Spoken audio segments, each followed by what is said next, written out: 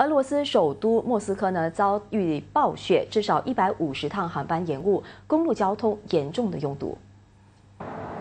受恶劣天气影响，莫斯科一些公路的交通几乎陷入瘫痪状态。主要搜索引擎的交通监控服务显示，堵车情况在午后时分达到历来最严重的情况。皑皑白雪阻碍交通，有居民表示，他们早已做好准备应对恶劣天气。这名莫斯科居民就表示，开车人士在出门前应该注意天气预报，这样的天气下最好是步行和搭地铁。